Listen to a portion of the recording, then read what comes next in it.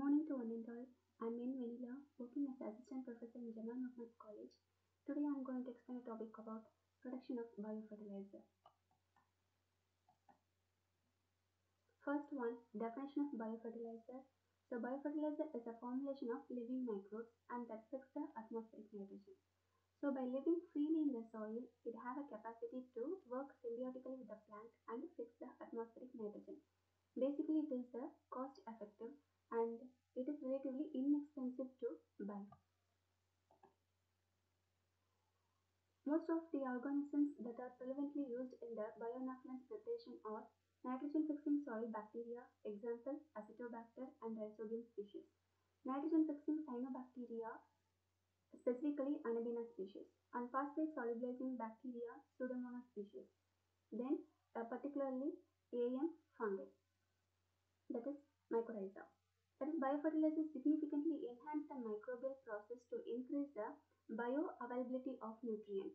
By using a soil fixing bacteria, we can increase the nutrient availability to the plant. In the form of that, the plant can assimilate, so the biofertilizer have a low cost and play an essential role in supporting soil health and minimizing environmental pollution. For using this as a biofertilizer, we need an inoculant carriers. So the most of the inoculant carriers should possess these qualities that is non-toxicity, good moisture absorption capacity, free lump forming materials, easy to sterilize, inexpensive, easily available and good buffering capacity.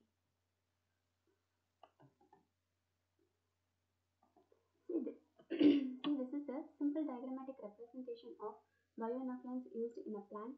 See the first one is siderophore production that is increased iron uptake, increased iron nutrition and increased iron accumulation.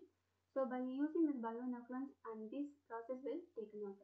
Then increased in N nutrition that is nitrogen and increased N uptake, nitrogen uptake and increased N accumulation.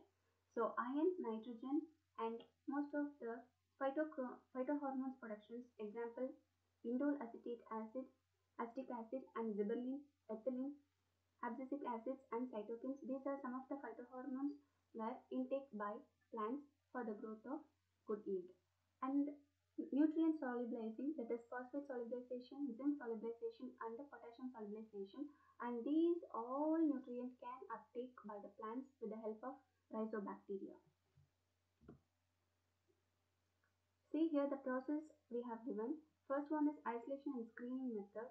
Then in this we have so many type of assays that is molecular identification, then acetylene detection and phosphorus solubilization. Then we go to cultivation that is using media we have to do a mass production that is large scale production. So by formulation liquid formulation is first taken and we have to take a granules and powder the solid formulation and application to the field include a foliar spray we can spray or used with the irrigation field or in soil amendments that is we can mix the bioinoculants with the soil or seed coating. So these are four types we can use a biofertilizer as in any one of this. So we can do for foliar spray or irrigation or soil amendments and seed coating. So this uh, inoculant adding into the soil or a plant we need some of the methods that is mining Carrier like peats is mined, drained and cleared of stones, roots, etc. Then drain process. Then the carrier materials is sheared and dried. Milling. So milling is nothing but after that pass the peat through a heavy mill. Peat is generally used to used as a soil inoculant, which is preferably particle, a particular size of 0.5 to 1.5 millimeter. We can use coco peat. Neutralization. This is then the neutralize the carrier by treating them with a precipitate of calcium carbonate that is CaCO3 which maintain the pH between 6.5 to 7. Then last one is sterilization. At last sterilize the carriers so that they can be used as an inoculant. Inoculation into the field. So here we have given some of the method of inoculation. First one is seed inoculation and the soil inoculation are two standard inoculation methods that are prevalently used.